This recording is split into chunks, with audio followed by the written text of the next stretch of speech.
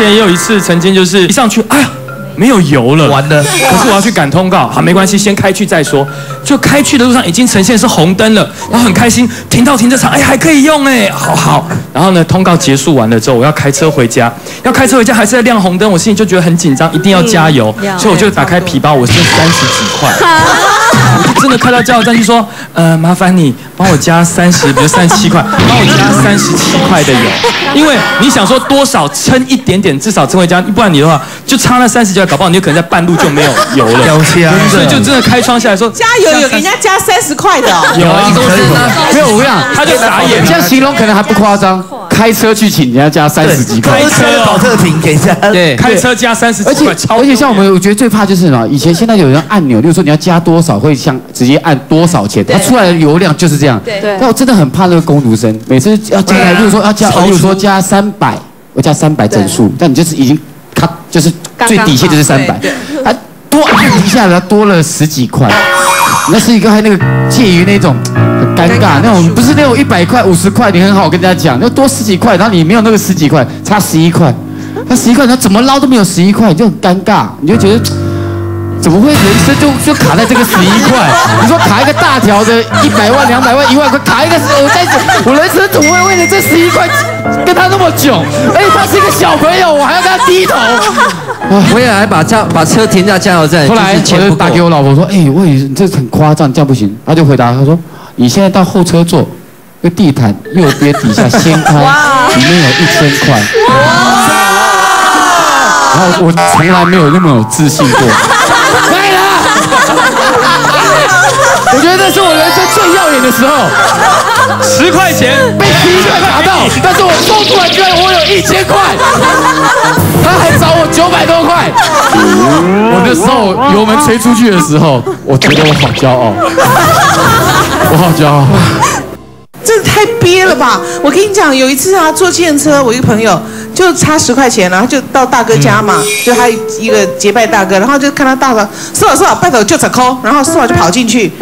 很久才出来，想说，哎，人家借车等于就借十块钱，那四宝就出来啊，就给十万块，因为他们的单价不一样。对对对，十万块，十块，十块是十万，是这哦，四万十块啦，你前面你前面就十块，可以停车场十块，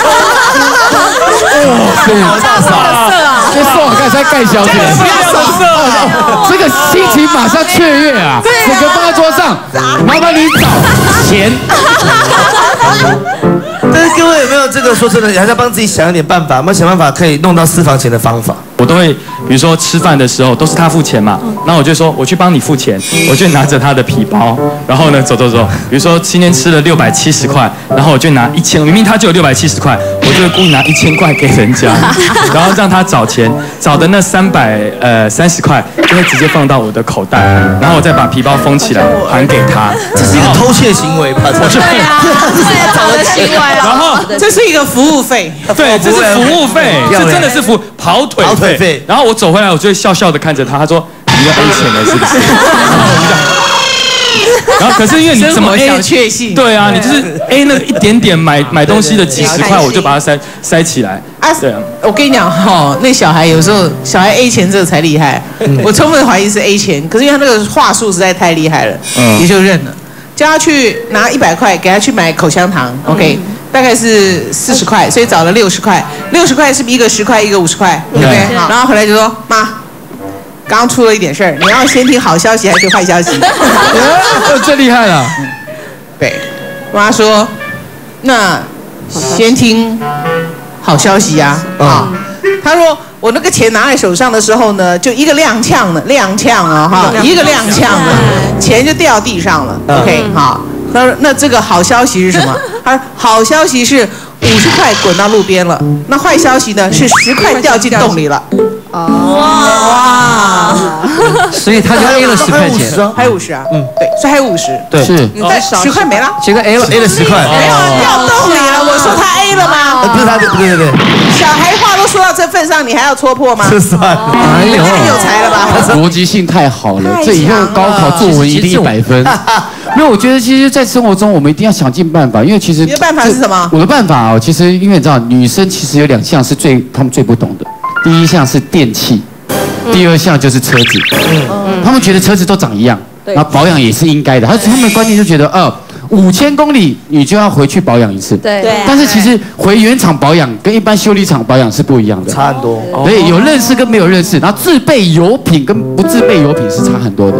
有认识跟没认识的车厂差多少？哦，差多了，多少因为可以最少可以差到，我觉得可以差，甚至原厂跟一般的副厂的话，大概可以差一半。半那那那保养一次要多少钱？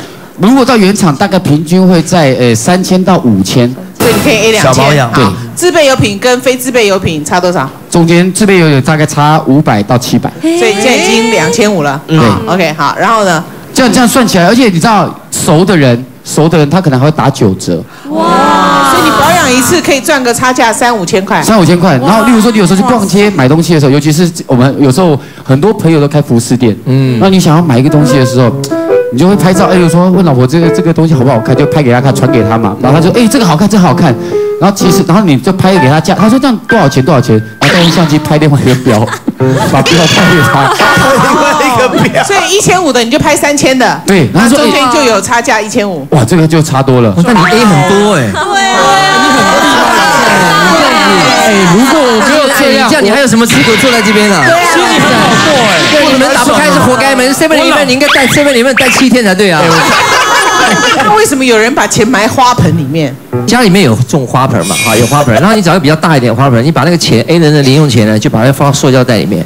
那因为花都是我在浇的，所以你就把那花挖一个洞，然后把钱放在里面，把它盖住。反正你浇怎么浇水也不会弄到那个花盆，就是这样。那钱就可以藏在里面，藏得很好。但不，但是就是你要去拿花盆的时候，你不能在他在的时候啊。你要你要在他不在的时候拿，可是你要是要放好，不然他有时候回来说，哎，为什么就这些土跟那个土我真的佩服哎！你说叫我这个记性藏钱哦，我一定会藏到不见去。对，我跟你说，那个是那个还简单了，那是一般大概家里有他，除非有种花了，你就可以直接这样做。我发现现在一个地方更棒，那个脚踏车那个坐垫现在不是一个杆子吗？就那个屁股那杆，那杆钢管你好认真，超强。杆子里面是空的，你你只要把那个钱卷一卷，有没有？然后把它放好，塞进去。哎呦，骑车是可舒服的嘞！哦，难怪那么多男生喜哦，这个厉害。而且这个我跟你讲，我们不就就光骑车就好了，我们通告骑过来，骑车缴到这里面很多钱嘞，是不是？高招，厉害厉害！可是我说那个放那个男生啊，如果要放私房钱，一定要放在女生一辈子不会去碰的地方。